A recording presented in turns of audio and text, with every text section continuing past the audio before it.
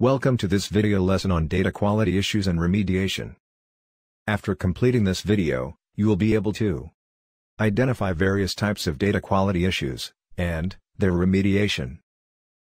The common data quality issues that are easy to spot are missing values, duplicate values, and inconsistent data.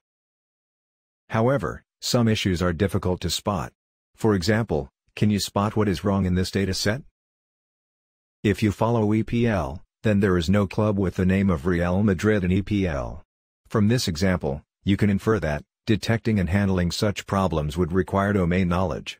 Therefore as a data scientist, you should develop a good understanding of the domain, and the problem you are solving. But, how to fix these data quality issues? Once you identify the inaccurate and missing data, you can use the alternate source of data, if available.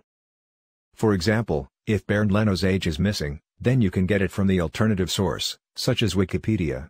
However, this approach is not always possible, as you can't find an alternative source for every dataset, or data point. In that case, a simple approach is to remove the inaccurate data. This can work well, if you have a few inaccurate data points. But, if there are many records with data quality problems, then this approach can reduce the data size, resulting in a poor analysis. A better approach, would be to impute the incorrect or missing values. The mean, mode, and the median of attributes, can be used for this. For example, in this dataset, you can impute the missing weight of Joe Hart, by the mode of 185, or mean of 178.3, or median of 178.5. We will discuss these methods in detail in the upcoming reading document. But, there are chances that the imputed values are inaccurate. Another approach, is to estimate the missing weight, based on the player whose height and age is similar to Joe Hart. That is, you look at attributes that can better help in estimating the incorrect or missing value.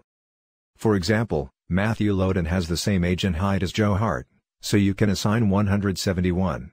However, not all values can be estimated from the values of other attributes. Thus, the approach to remediate the data quality issues depends on the type of data you are dealing with, and the domain understanding of the data.